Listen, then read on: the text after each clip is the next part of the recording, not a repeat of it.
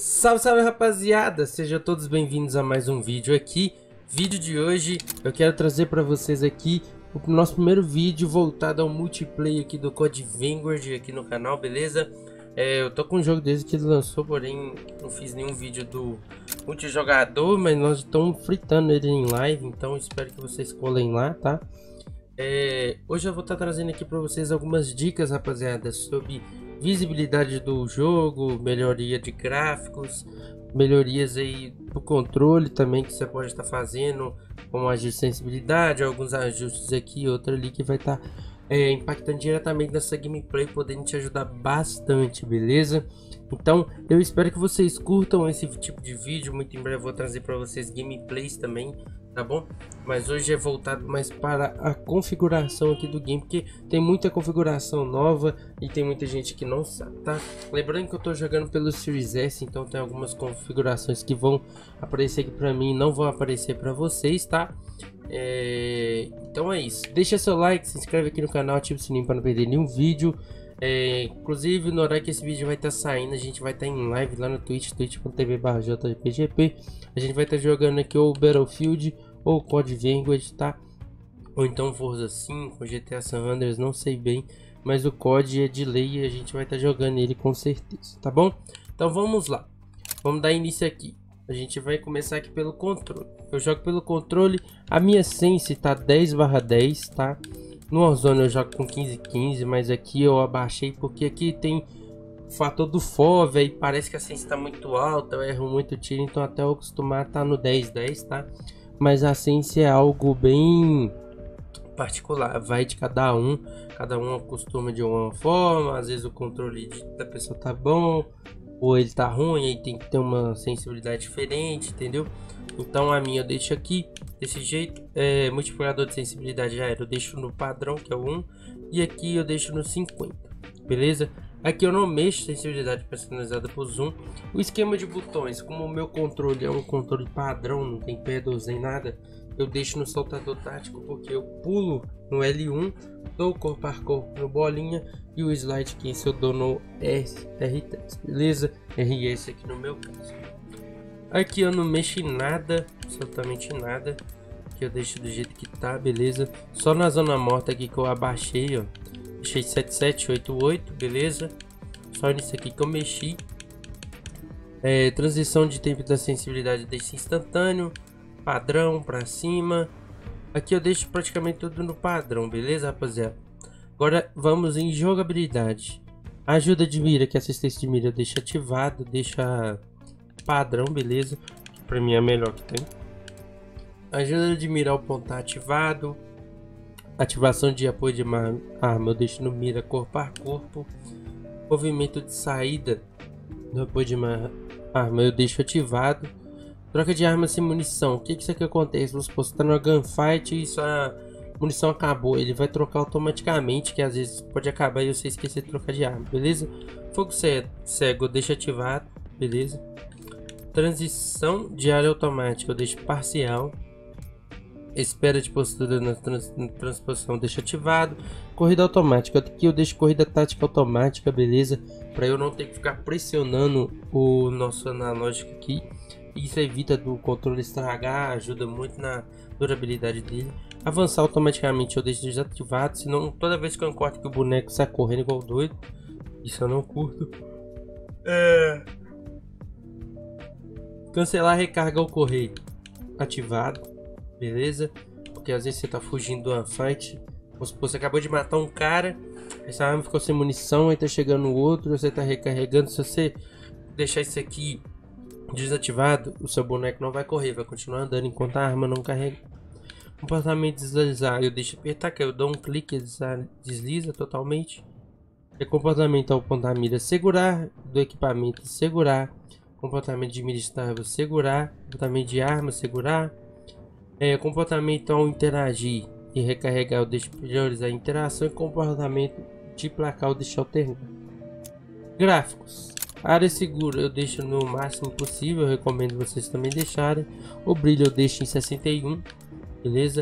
Personalização de cor, eu acho que eu não mexi em nada, mas isso aqui você pode mudar do jeito que você quiser, beleza? É, campo de visão eu deixo no FOV 120.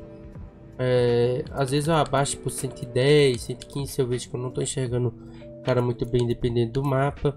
E eu deixo sob efeito a mira porque eu não gosto de ficar dando aquele zoom porque às vezes me atrapalha, beleza? Às vezes eu fico meio confundido, confundido tá bom? Movimento da câmera deixo padrão 100%. Perda de foco, movimento eu deixo desativado. Isso aqui é bom mais para campanha, tá rapaziada?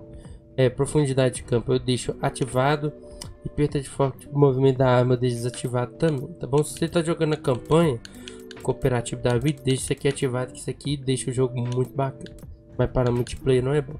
Isso aqui, rapaziada, é uma dica que eu vou estar tá dando para vocês aí, para vocês estar tá melhorando a qualidade de imagem, caso vocês não estejam enxergando bem a galera, beleza? Que é o Força do Fidelity Fix Cast, beleza? Você ativa ele aqui e aumenta aqui um pouco que ele vai te dar nitidez, beleza? De alto contraste, tá bom? Então você deixa aqui no 94, 95. Mas lembrando que se você está jogando isso aqui no PS4 ou Xbox One e ativar muito isso aqui, deixar muito alto aqui, você pode perder um pouco de desempenho, tá bom? No meu também, porém aqui no meu praticamente não cai nada, tá bom? Isso aqui é transmissão de textura sob demanda, eu deixo ativado, mas eu não mexo em nada, beleza? No áudio eu deixo tudo aqui 100%, 50% da música, que eu não curto muito música toda hora. E o restante eu deixo tudo 100%, beleza? Feitos sonoro de marca eu deixo o clássico, mas tem o do Vanguard aqui também, que é da horinha, tanto faz, aqui eu não ligo. Aqui eu deixo em fones de ouvido, porque é o que eu tô jogando, mas se tiver na TV, você deixa falando na TV e por aí vai. Série de baixo ativado, áudio mono desativado, beleza? Se você deixar áudio mono ativado, você não vai conseguir decifrar se o cara tá vindo pela esquerda ou direita. O som vai estar tá fluindo em um canal só, entendeu? Bate-papo de voz ativado. Aqui eu deixo alto-falantes porque eu deixo alto-falantes para sair a voz de geral na live, beleza? O pessoal do PS4 e por aí vai se eu deixar fones de ouvido, sai só pra mim, tá bom? Mas no seu caso aí, se você não faz live, você deixa fones de ouvido normal. Volume do bate-papo de 9 eu deixo em 90, no microfone 25, tem que até aumentar um pouco. É, e efeito de baixo ah, eu deixo normal, sem efeito nenhum, beleza? Mas se tu curte, você pode mudar isso aí, que é bem bacana também. É, legenda eu deixo muito grande, que eu uso o Ox, então tem hora que eu fico, fico a visão eu fazendo live por muito tempo, a visão fica doendo, aí eu deixo muito grande, que aí eu não tenho que ficar forçando demais. Beleza? Legenda desativar, mas isso aí vai de você, você pode desativar se você quiser. Tamanho da legenda padrão. Aqui eu praticamente não mexi em nada, ó. Só que no telemetria, que é aquelas opções que estão em cima aqui, ó. Vocês quiserem ver aqui, ó, estão bem aqui em cima aqui, que são FOV, latência, perca de pacote, isso eu deixei ativado que eu gosto de ver se eu tô com perca de pacote, as horas e por aí vai, beleza? Tem o tamanho da telemetria aqui, ó, menor, padrão e por aí vai, beleza? O minimapa eu recomendo você sempre deixar ele no quadrado, porque no redondo você vê tem menos áreas para você tá vendo, beleza? No quadrado você já tem bastante, a rotação do minimapa deixa ativado. O restante aqui ativado e a bússola em letras, beleza? O restante aqui eu não mexo, e nem aqui nem aqui. Então, rapaziada, essas são as melhores configurações ao meu ver aí do, do para quem joga no console, algumas servem aí para quem tá jogando aí também no PC, beleza? São configurações muito boas, tá bom?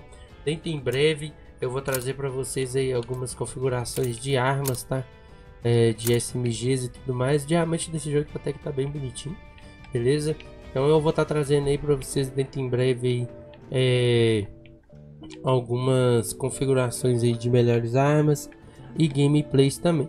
Vou trazer muito conteúdo também do BF, tá bom rapaziada? Que tá aqui já instalado. E é isso. Então, espero que vocês tenham curtido o vídeo. Esse vídeo aí foi mais para ajudar vocês aí mesmo, tá bom? É, deixe seu like, se inscreva no canal, ative o sininho para não perder nenhum vídeo.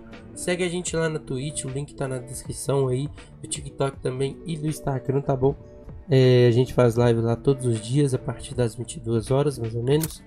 Então é isso, rapaziada. Fiquem com Deus, uma ótima tarde para vocês e um ótimo final de semana. É nóis!